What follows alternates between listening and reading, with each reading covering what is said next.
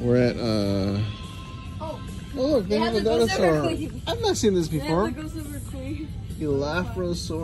It has a Ghost River Queen. Oh that do you have that one? And the Austroraptor. I'm No, I've not seen these guys. So we're at Rite Aid. Actually came here to look for some Halo Mega minifigures. But guess what I found? Awesome. Elaphrosaurus. Get a close look at the face.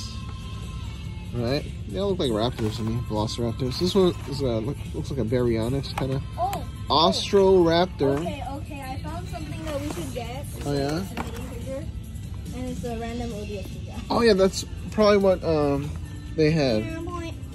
So this is a. so they have this. Is that the only uh, minifigure? Let me see. Is that the only one they have? Yeah, it's literally the only minifigure. Uh, Ramos. This is not what I was looking for, but yeah, this one. Where'd you find it?